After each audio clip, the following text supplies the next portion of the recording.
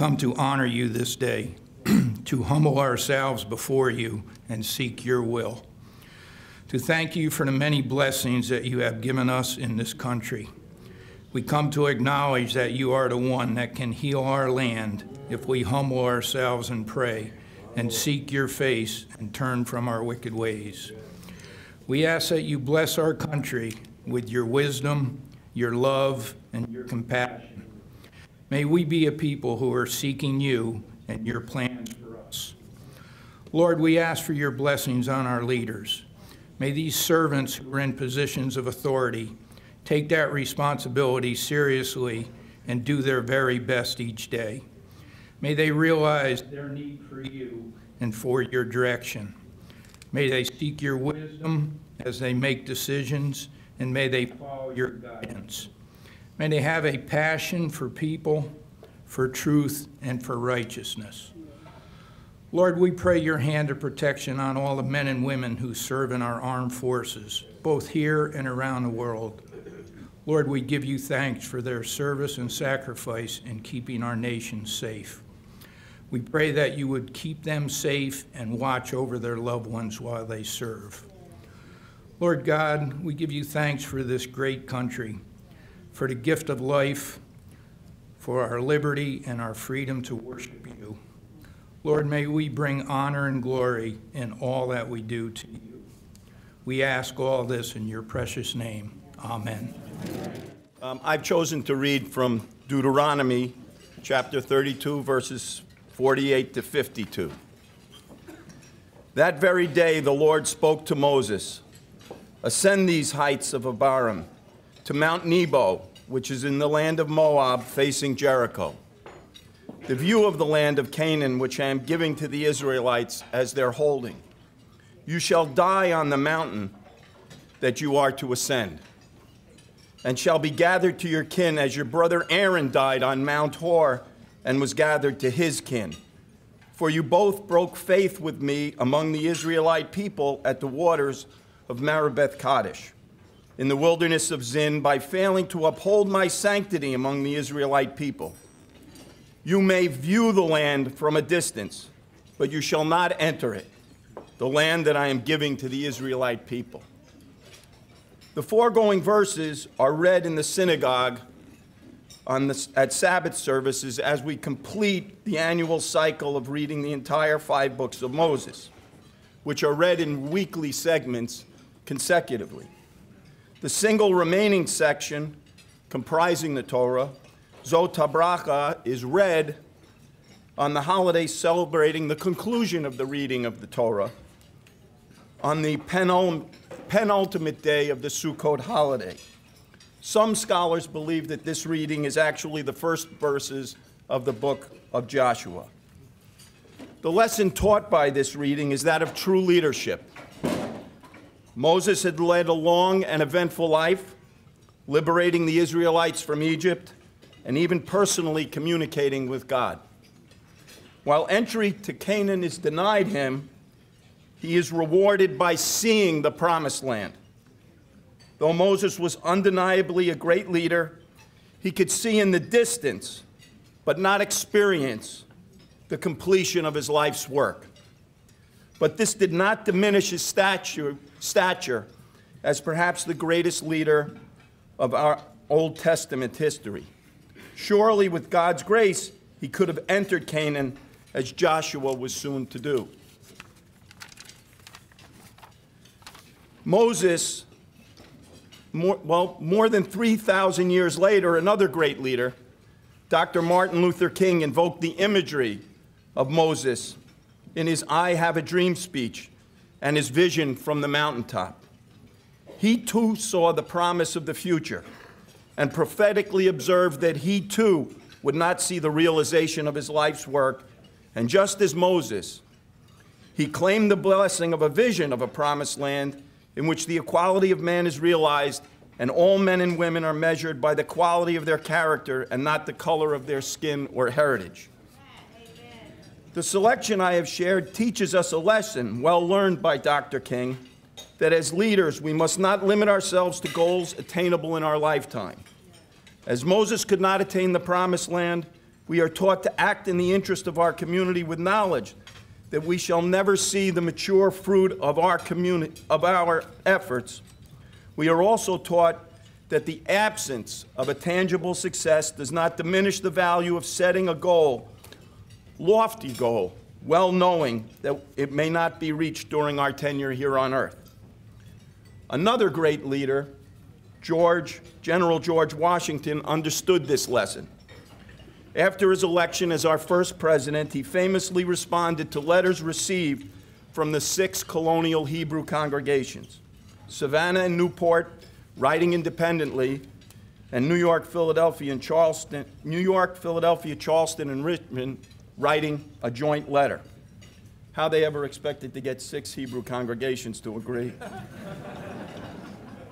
the letters were actually initiated prior to Rhode Island's ratification of the Constitution and the First Amendment's guarantee of freedom of religion that we all cherish so much.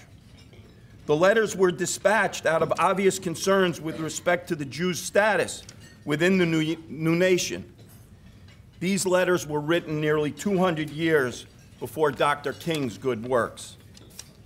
In his May 1789 response to the Savannah congregation, President Washington, a man of abiding faith in God, concluded his reassuring letter to the Jews of Georgia with these words, which, like Moses and Dr. King, provide a lens through which the lesson taught from today's reading. George Washington wrote, May the same wonder working deity who long since delivered the Hebrews from their Egyptian oppressors planted them in the promised land, whose providential agency has lately been conspicuous in establishing these United States as an independent nation, still continue to water them with the dew of heaven and make the inhabitants of every denomination participate in the temporal and spiritual blessings of that people whose God is Jehovah. Signed, George Washington. May it be our prayer, therefore, that the leaders of our community be bathed in the dew of heaven, and may that dew water us with the vision to set lofty goals, the strength and wisdom to pursue them for the betterment of generations to come, and that we be blessed to understand that the pursuit of the promised land is our reward. Thank you. Do not judge, or you too will be judged. For in the same way you judge others, you will be judged, and with the same measure you use, it will be measured to you. Why do you look at the speck of sawdust in your brother's eye and pay no attention to the plank in your own eye? How can you say to your brother, Let me take the speck out of your eye, when all the time there is a plank in your own eye? First, take the plank out of your own eye, and then you will see clearly to remove the speck from your brother's eye. Now, um, I have to tell you, judges by nature are very paranoid, so I, uh, I, uh, I, I tried to do some research, uh, and the fact that I'm, I'm following a biblical scholar and Ben Oster uh, doesn't elevate my confidence level. the, uh, so in researching it, I came across very various commentaries. Some commentators have, subject, uh, have suggested that that judgment is is the prerogative of God alone, and uh, it's His final judgment that matters. Others have suggested that if uh, we are to judge others, we must, as a minimum,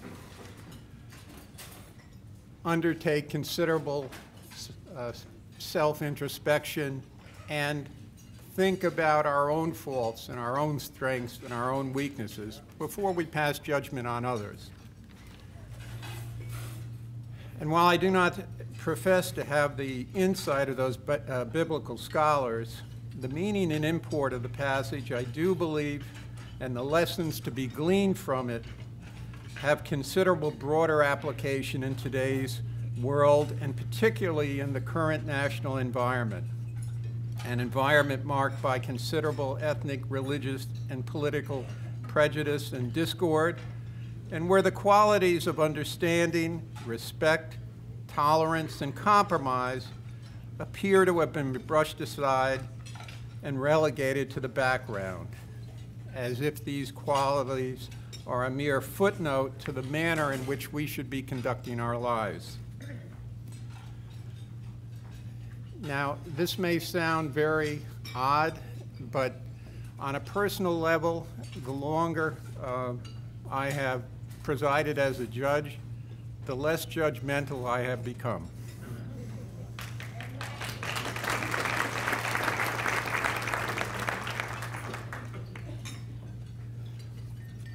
Particularly about the beliefs, the actions of others.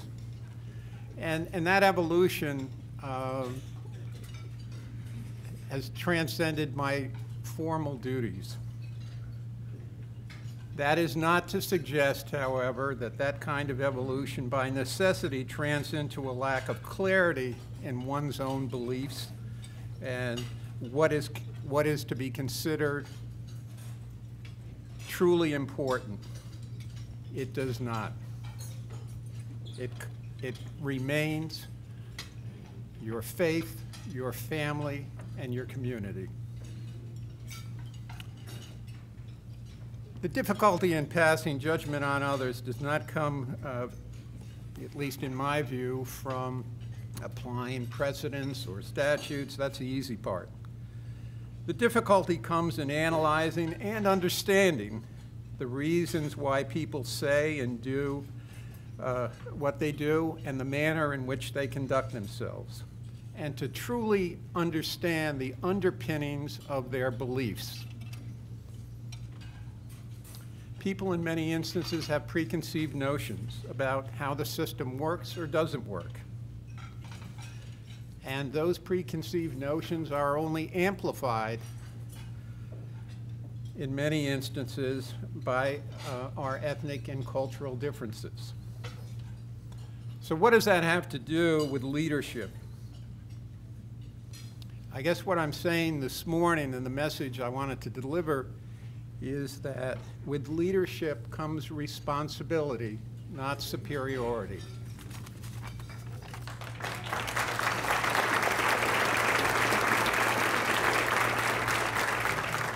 As leaders, it's our job to not only lead, but to lead in a manner that is fair and respectful to and tolerant of those who have entrusted us with that responsibility, regardless of their divergent views and beliefs.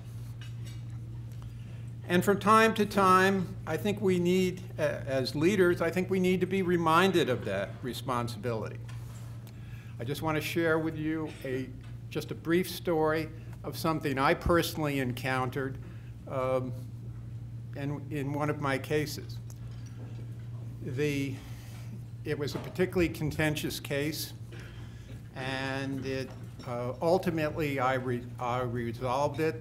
Uh, at times, uh, I have to be fairly firm, and I, I will tell you, although I bear no resemblance to uh, Solomon, his techniques are very effective when you're settling, when you're settling a case. And what, and the situation uh, that presented itself, it- the matter was resolved, and one of the attorneys said to me, uh, said, Judge, my client would like to address the court, if you would. And uh, client was uh, Middle Eastern descent, and it was obvious for me, from reviewing the case file and hearing some of the testimony, life had not treated him well and had not treated him fairly. He's, and so he says, Judge, I want you to know that as a person of color, I did not expect to be treated so fairly by someone such as you, a white Republican rich judge. I said, there was dead silence in the courtroom, and the attorney uh, quickly went under the table. And to break the silence, I said, Well, sir, thank you very much. I plead guilty to being white and a Republican, but my children have pretty much resolved the, the, th- the third component. and you know, it was, it was a source of some laughter afterwards, but, but as I continued to reflect on it, it's a serious, it's a serious issue. How we are perceived, and it only underscores our responsibility of uh, leaders to ensure that people view what we do as fair and uh, considerate of their beliefs. And but being fair and respectful and tolerant, tolerant should not be construed and is not synonymous with agreement. Nor does gre- agreement need to be viewed as being disres- or disagreement need to be viewed as being disrespectful or intolerant. Reasonable people can and do differ on their fundament, fundamental beliefs, and, and their differences should be respected.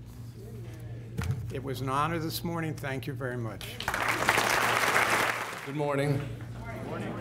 It's really a pleasure to be here, and uh, I just want to thank Steve for hosting this event, for the committee that worked so hard to put this on, and for you to be here with us uh, this morning. It's real, it's a real honor to be here. Um, also, Larry mentioned the monthly prayer gathering. I'd love to see you there. Uh, it's a big crowd, but we'll find a way to get you in. it's the Goshen Diner. We'd love to see you there. I think you really enjoy it. Um, let me begin this way. Um, we all have had times of great need, and uh, we prayed to God for help during those times.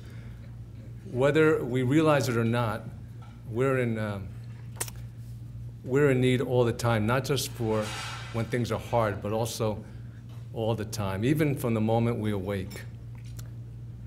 Imagine what our county would look like if all of our leaders began each day praying and asking God for help to become better leaders and a greater blessing to the people they serve. So it's in that, amen. It's in that, uh, that spirit, that, that mindset. I'd like to uh, ask you to join me in praying for our county leaders. Praise and glory to you, Lord God and Father. We love you, we thank you, and we desperately need you. The psalmist declares, I lift up my eyes to the hills. Where does my help come from? My help comes from the Lord, the maker of heaven and earth. Yes, Lord, we need your presence and help in every area of our lives the lives of our families, our towns, our communities, our cities, and our county. We ask specifically for all those who are in positions of leadership throughout this county, many of whom are with us this morning. They come from all segments of county leadership, both public and private, from government to community charities, from education to military, from first responders to churches, from medical providers to businesses, and many others. We pray for all these leaders and ask that you would grant them a humble heart to daily pray and seek your help, to become better leaders, and for the well being of their people. Allow them to overflow with insight, wisdom, strength, courage, grace, compassion, civility, and a genuine love for the people they serve. May their work be a joy and not a burden, and may you multiply the fruit of their labor. Bless and protect their families who sacrifice so much in allowing them to serve. Gather around them good and faithful friends and co workers to offer wise counsel and encouragement when most needed. Pour out your spirit into their hearts and the hearts of the people of this county that healing and renewal would flourish. May your will be done in and through our leaders and the people of this county. And when difficult times come, as they often do, may their hearts, may the hearts of our leaders not be dismayed, but may they always remember from where their help comes from. My help comes from the Lord, the maker of heaven and earth. Father, may these prayers be pleasing in your sight. Receive them, we pray, in the name of Jesus Christ our Lord. Amen. Our key, keynote speaker for the morning is Leslie Haskin. Leslie is the youngest of 15 children. She was born to a Baptist minister. She grew up in Chicago's notorious South Side, but was surrounded by a healthy family life. Leslie came to New York City, where she quickly climbed the corporate ladder, working at B Trade, Michael Bloomberg, Bloomberg's company, in the North Tower of the World Trade Center. Leslie's life changed drastically on 9 11 when she not only lost 22 friends and developed PTSD, she lost everything she had, including her home. Today, after much struggle, Leslie is a New York Times bestselling author, a sought after international key- keynote speaker, and she most recently founded Life Station's Center of Excellence.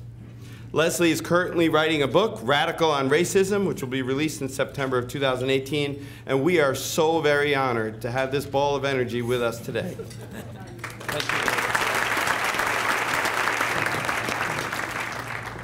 So I want to talk this morning about the importance of leadership and how critical it is that we get that right.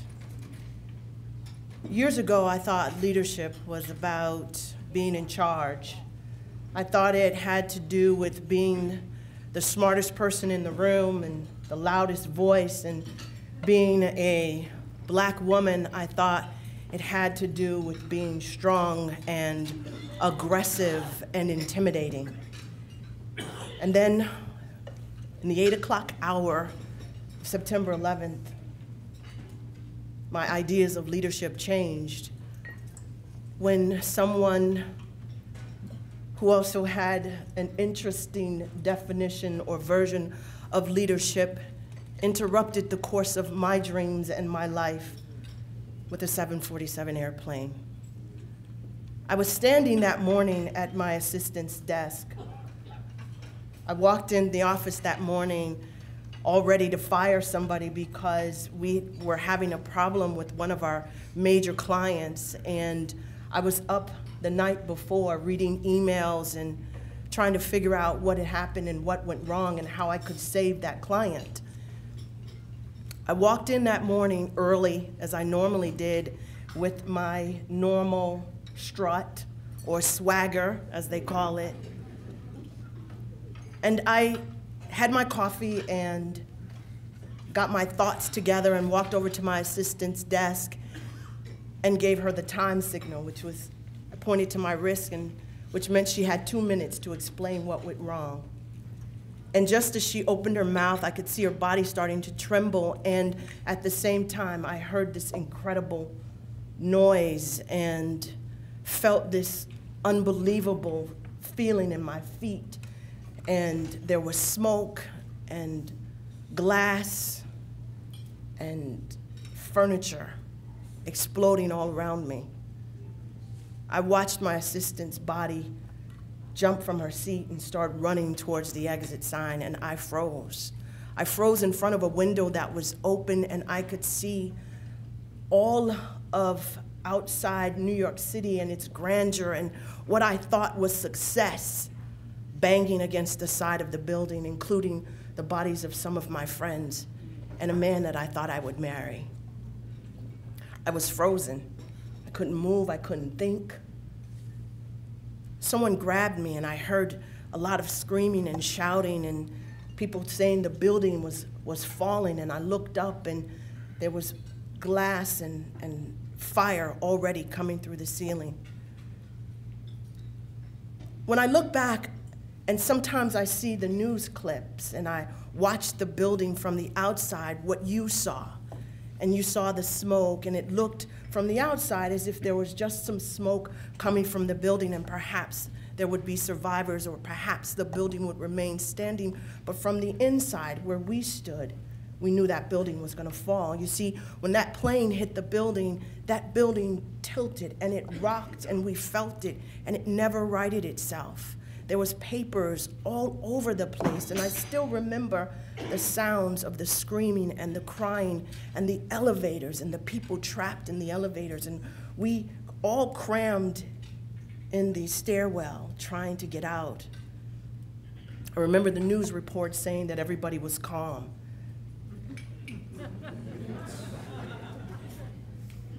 It's an interesting perspective. I think we were all in shock. I think we all knew that all of our dreams were ending that day in those stairwells. So I want to get into your heads for a minute, play a little game with you. I want you to imagine, for real, imagine that this is the last day of your life. And for the next 10 minutes, are the next 10 minutes of your life. I want you to really consider where we were that day. Just pretend that you're not going to leave this room. And in this society, how we're living today, it could be possible, right? We go to church and we don't go home. We go to the movies we go to concerts, we go to school, and we don't make it home. So let's pretend that we've all come to this Orange County leadership breakfast and we're not going home.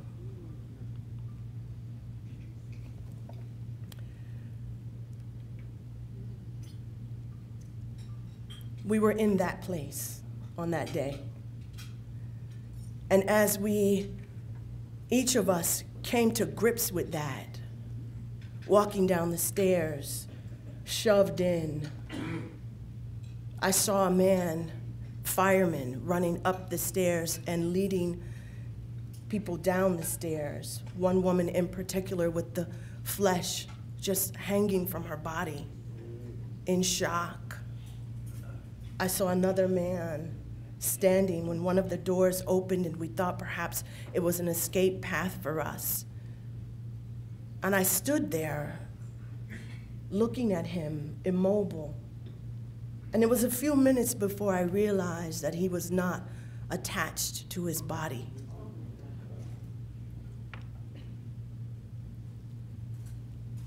How can I tell you what happened on 9 11 without talking to you about what happened inside of me? And those who experienced it that day. I walked in that building that morning with an idea of what leadership was, and I came out transformed. I came out with an understanding of what it means to be not in charge, but in a role where people look to you for answers and look to you for meaning and look to you for guidance. I look back and I I search the scriptures and I see how Jesus lived his life as a leader, as a servant, as a slave to us, being willing to be broken and brutalized and taunted and laughed at so that we could have eternal life. And that's the position that we're all in today as leaders.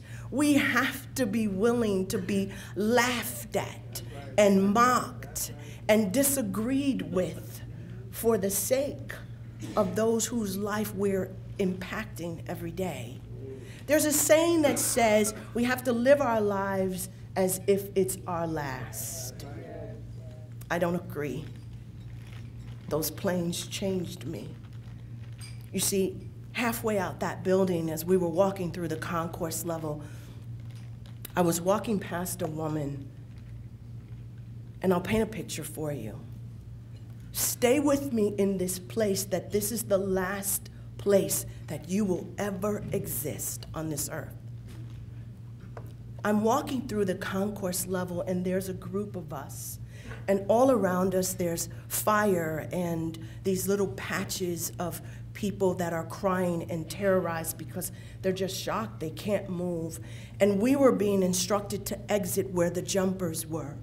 So outside of the broken glass, I could see all of the blood and the, the puddles of blood that we were walking through. And some of the women had removed their shoes, and I was looking at those spattered bodies outside of the concourse where we had to walk. And there was a woman sitting there, I thought, and she was trying to pass me a note. And I paused for a moment and I recognized that she was burned very badly and she was shaking and she reached out to me with a note in her hand. And as she reached for me, I reached for her and she passed away. And I heard her take her last breath and I watched her take her last breath.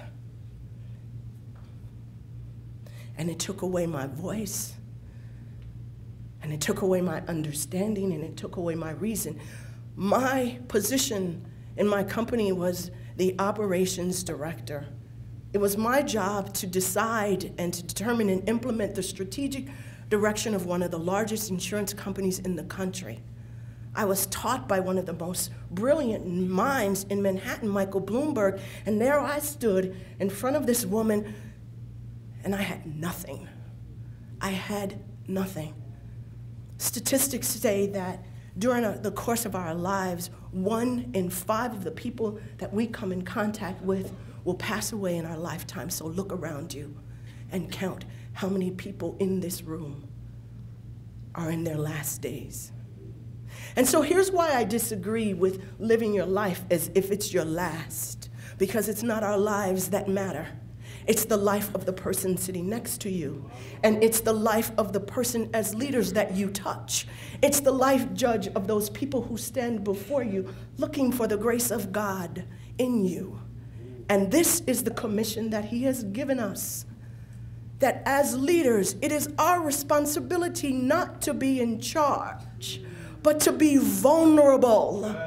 It is our responsibility as leaders not to have all the answers, but to seek truth. It is not our responsibilities as leaders to be aggressive and bold, but to humble ourselves and pray and understand that the person that we encounter could be in their last days. You never know when your words are the last words that someone is going to hear. You never know when your position and your title and your touch is the last touch that someone will ever have. And so I beg you, as Psalm 90 says, Lord, teach us to number our days that we may gain a heart of wisdom. Live your life not as if it's your last, but as if and knowing that it might be the last of the person that you're now encountering. Thank you for sharing your time with me.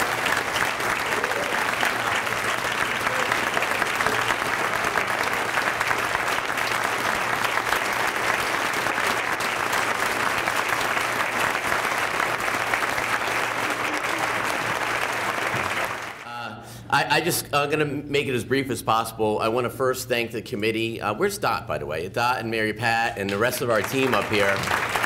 You know, Le- Leslie and I were talking, you know, when we first did this three years ago, and, and I've said this in the past, so for the new people, this is for you, for the people that the re, the uh, the people the repeats, uh, you're gonna have to just deal with this.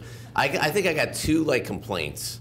One was a legitimate one, and we took care of it, and the other one was like from like the president of Atheists of America saying, "I don't like the prayer breakfast." Okay, we're not gonna get that guy, so uh, uh, uh, uh, I'll I'll lose that vote. It's okay, it's it's all right. Um, what I, what I really wanted to talk about today was, and I'm going to be very brief, a lot of people have alluded to talking about the national feeling. Um, you can't turn on any news station without the soul crushing what's wrong with America and what's horrible with this country and what's right, what's nothing is going right. We have no leadership from left to right. Everybody's fighting, they're not getting anything done. And, and there's some truth to, to some of the things that are the challenges today and some of the uh, leadership challenges across the board. But uh, what I look at, and I've said in the past here, is the miracles that we have here in our community and the miracles that we could make happen with the people in this room. And I'm going to give you a couple of them. I'm going to start off with uh, earlier this year, I was invited to uh, a mosque in Orange County. Now, I haven't been to a mosque in the United States ever. I've been to a mosque with the 4th Marine Division overseas. And it's a little bit different feeling when you're wearing fatigues with armored uh, troops than being invited willingly. So a lot of my staff like, you know, is this is not your type of comfort level, Steve. So I said, uh, let's give it a shot. So as a good naval officer, I bought my deputy county executive, who's a Marine, and uh, we went and uh, and we did. Uh, you know, we had a wonderful time. And they said, "What are you going to talk about?" I said, "You know, I'm going to talk about not the stuff that divides us or what the difference is in our religions, because they knew I'm as Christian as you get. I talked about what what what brings us together. They're all they're families. They love their kids. They love their wives. I hope. I think most people, no matter what you are, and we started a bond, and we have a great relationship." these are part of our community that you can either continue to have these divides and issues, or you can bring them to the table, break bread with them, and start working together and make this community better. There's some, there's some major issues that we saw come here.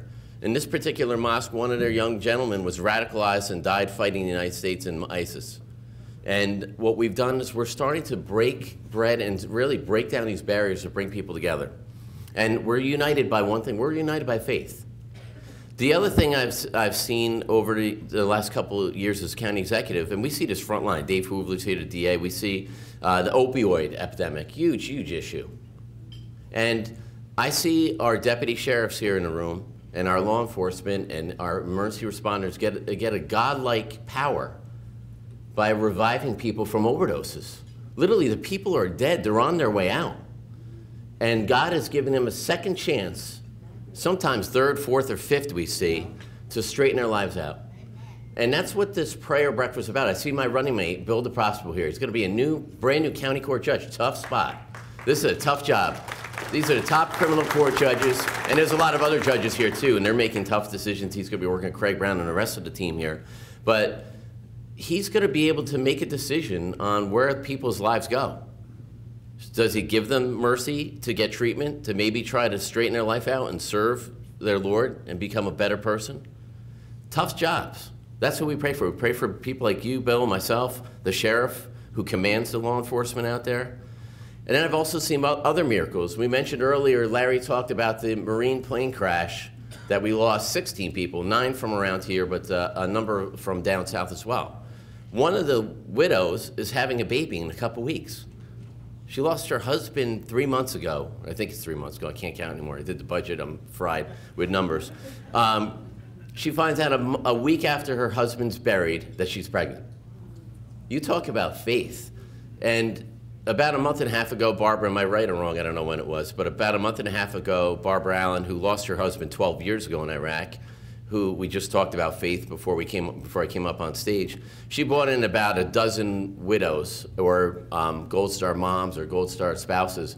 These these people lost everything, and they had a retreat here in Harriman. They had a uh, they rented a house. What a beautiful thing! I'm gonna I'm gonna support you on growing that, Barbara. It was a beautiful event, a two day retreat where these um, women got together. Some of them lost their spouses uh, over a decade ago. Some of them lost their spouse a few months ago, but they brought themselves together with faith and supporting themselves. How else do you get through life, through circumstances like that, without having faith? How does this young widow who's going to have a baby any day now get through life without faith? And you need that support. And the last, and, and Mary Pat told me two things. She said, keep it positive, because I do sometimes go negative. And she also told me not to cuss. And, and, and, uh, and, and, when, and when Benny Ostrer was up here speaking, he had to go to court. I promised him that he'd get to federal court. He's got a trial today. But when Ben Ostrer was starting to quote famous people, he said, General George, I'm like, my God, he's going to quote Patton. We're going to have some cussing today. I'm a Navy guy, and I got flanked from the Air Force on the right and the Army to my left. But uh, he went with George Washington. So the other, she told me no cussing, and she said to keep it positive. But in the last two days, we had two suicides in Orange County. One was from a middle-aged person, and one was from a young, young person yesterday. And one of the things we do, and I see Honor, and I see my healthcare providers, Linda Muller, and all this, stuff, they said one of the leading ways to prevent somebody from committing suicide is not to have his family say, I love you, hey, are, are you okay? It's from a complete stranger saying, Good morning, good afternoon, how are you doing today? Somebody from out of the ordinary noticing you. When is the last time we've ever done that? And I'm, this is, look, this is a room of rock stars. My, my message to you is to continue to go out in our community and make a difference. We can't wait for Washington. We can't wait for Albany. We can make the we can make change here. One of the things Leslie asked, asked me, she goes, "As county exec, can you can you make a decision like that impacts the people directly?" I look at Chris Molinelli from Honor. We, if you see a homeless man or woman right now pulling out of here, you can call them and they can come and bring that man or woman and get them new a, a warm bed, a new set of clothes, and food. I've seen it happen as we head, as and there's mostly Christians and Jews in this room, and I think we got some Muslims as well. But as we head into the holy month for, uh, for Christmas and Hanukkah's coming up, there's, this is like the time of year where you raise money for food and you start talking about this is a great time to, start that trend. I hate it when it ends like in December 25th. Everybody's all right, we'll pack it up. We don't have to do these things anymore.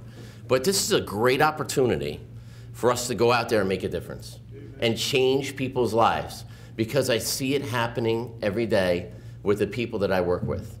Um, I bring up this story all the time because it's one of the proudest things I've seen come, happen in this community, and I talked to Leslie about it earlier.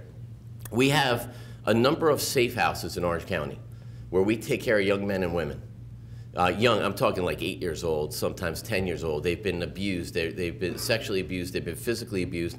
I call their parents ninjas. No income, no job, no asset. They might not even be around. But the biggest thing that these group of kids have every day, besides hanging out and building upon themselves, they, they, who's going to be the lucky one that day to say the evening prayer? If it starts with them, we could definitely help them get to where they need to be. When I talk to fellow military members, when you're wearing that uniform, or you are a superhero, you're no less than Batman or Spider Man or Wonder Woman to these kids. They're looking up to you. You can change their lives. And it goes for everybody in this room. There's nothing better than to have somebody else, a peer, go to somebody that needs help and show them the way. I've seen it happen. So I want to thank everybody for being here today, for bringing us together. Uh, we're going to continue to do good things. If I need to do stuff that I'm not doing, let me know. I got an open door. People complain to me all the time. I'm married. My, I, I told you. I got four kids. First thing in the morning, change the stinky diaper, Dad. You're a rock star. The biggest mistake that happened to me when I was county executive, about two months after I come into office, Parenting Magazine puts me on the front cover. Dad of the year. They got myself, I had three kids then, on the front cover, and when they went to do the pictures, they told my wife, like, no, no, we don't need you in the picture. So I'm paying for it every day. So uh, I want to thank everybody. I look forward. I see my legislators, Jimmy O'Donnell and, and uh, Tom Faggione. We're going to continue to, to work for you, but uh, I appreciate the prayers and I appreciate you for being here today. Thank you. Good morning, everyone. I don't have paper, I have a phone. I first want to, um, before I close, just thank Leslie for her beautiful message. Um, thank you. it did inspire me. As, as leaders, as we all know, what we do is hard. It's not easy. And it is important to be vulnerable, and it's hard to be vulnerable. And I think a lot of that has to do that sometimes we do have this image of what a leader is supposed to be. Leaders don't cry. Leaders don't show weakness. But a true leader does cry. And our greatest leader was the Lord Jesus Christ, who cried for us. My, what I'm going to read to you right now is from Matthew. Um, Matthew 20, verse 27 through 28. For who, whoever wants to be first must be your slave, just as the Son of Man did not come to be served, but to serve, and to give life as a ransom for many. Our greatest leader, on the night he was betrayed, washed the feet of his apostles. He served them and then gave himself up. And that is who we need to be as leaders. We need to serve them and put ourselves last. No ego, no pride, no edification, but to him goes all the glory. Please join me in prayer. Thank you, Heavenly Father. We thank you, mighty God, that you have gathered all these people together, Lord, from all branch of government and schools and nonprofits, Lord Jesus. You know our hearts, you know our desires, Lord Jesus. I pray, mighty God, that you would use us as a vessel, that you would use us to serve, Lord. That when people interact with us, Lord, they may see you, Heavenly Father. That it be less of us and more of you, mighty God. We pray, Lord, that we understand that the greatest place in the world is kneeling at your feet. That we know that we kneel at your feet in times of trouble, Lord. And then most importantly, we kneel at your feet in times of triumph. For we know that when those victories come, it is not by our own strength, it is not by our own wisdom, Lord, but it is by your mighty hand, Heavenly Father. We pray, Lord, that you would keep us humble. We pray that you would keep us focused. We pray that our eyes will always stay on you and nothing else. May we not go left and right without your wisdom, without your direction, we, that we may always seek your counsel, Heavenly Father. We pray that you will lay your hand on every man and woman in this place, Heavenly Father.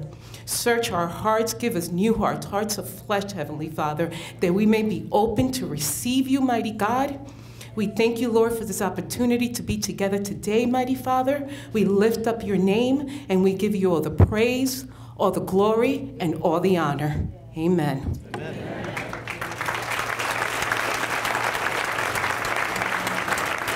Thank you, Saggy. Two assignments. Don't forget to fill out your card. Uh, that's the first assignment. Uh, come to next year's prayer breakfast and bring a friend. How's that? And then there's one huge assignment for today, for the rest of the day. Hope in the Lord and enjoy Him now and forevermore. Amen. Amazing grace, how sweet the sound that